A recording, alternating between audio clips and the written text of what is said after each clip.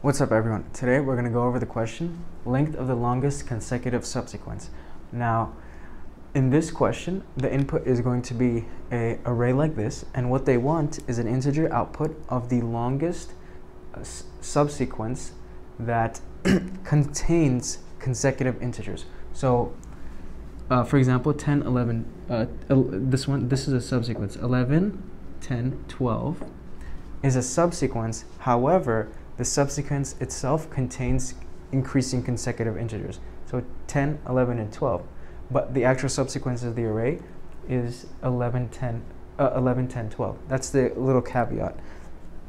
So how do we maximize this? Well, this approach is going to be using a set because a set has fast addition and lookup time, search time, and the core trick behind this problem is that anytime we're visiting a number, that number is going to um, first see if there is a immediately smaller number. So say we're there's a, a 20 here, right?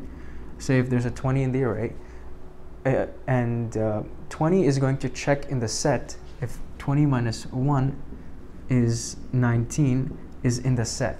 Basically what this means is if I'm a number and there's one number smaller than me, I'm going to let that number be the one that um, builds the subsequence. So let's see what this looks like for this problem.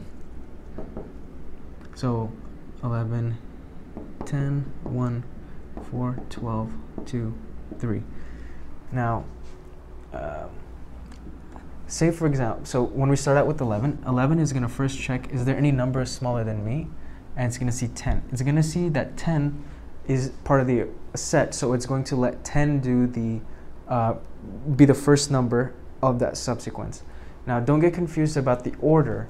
Uh, all we're checking in the set is does it exist or not. Because let's see what happens if 11 tries building itself. 11 is going to see, uh, say 11 starts the subsequence. It's going to see it has 12, right? Uh, 11, which is 11 plus 1. But 11 plus 2, 13, is not there. So the length of this, if, if 11 starts it, is only going to be 2. However, if it notices that there's a 10, which is one below it, it's going to let 10 do it because then 10 can say 10 plus 1, 11 exists, 10 plus 2, 12 exists, 10 plus 3, 13 does not exist, but my total length if I let 10 start it, is going to be 3. Uh, that's essentially the core logic behind it, and we'll see how efficient this approach is when we get into the code.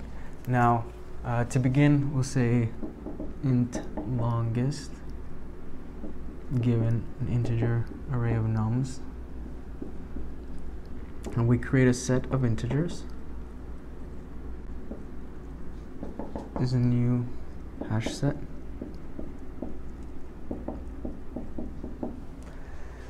Um, and this one is just going to be loaded with the numbers from the nums array.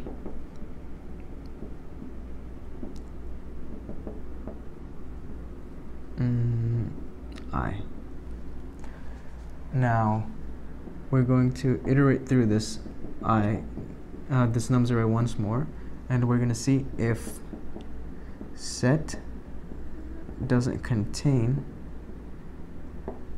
i minus 1. So in the beginning, we start with 11, right? 11, uh, uh 11 is uh, here. 11 is going to see is there 11 minus 1, 10. 10 does exist in, in the set, so it's not going to do anything. Then we move on to 10. Now 10 checks 10 minus 1 is 9, is not in the array.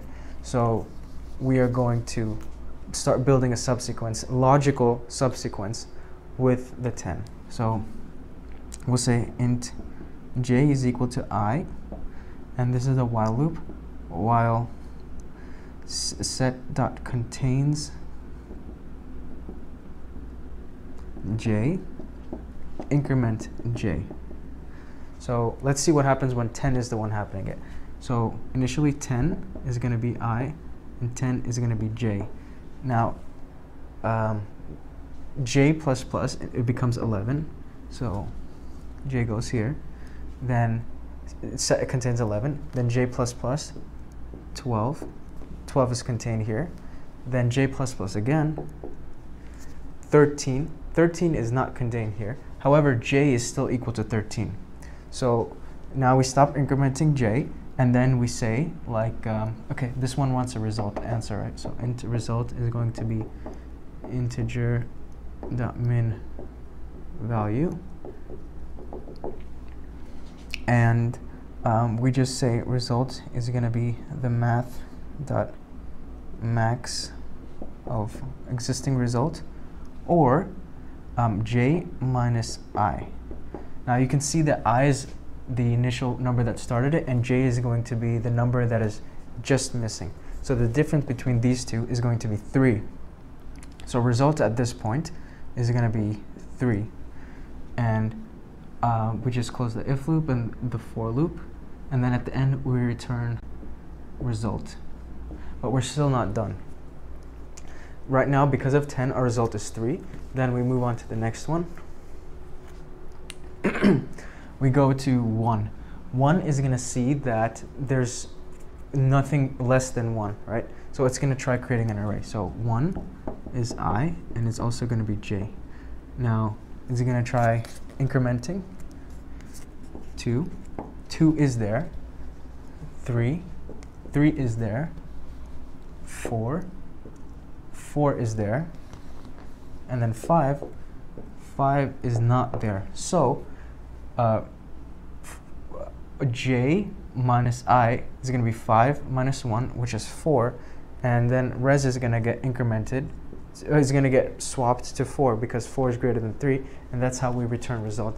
Now, this problem, uh, we still keep going, but essentially it's solved. Because after 1 does its job of uh, 1, 4, 2, and 3, even though we continue iterating over it, each number is going to see that it's not going to perform this operation because 4 has a, a decrease, 4 is, has a number smaller than that, 12 has a number smaller than that, 2 has a number smaller than that, and 3 has a number smaller than that in the array. So that's essentially all this code is. And um, the runtime complexity is going to be uh, O of n because we're just going over the array one integer at a time. So O of n is the runtime complexity. That's essentially how you solve it and get the uh, longest length. Uh, thanks for watching.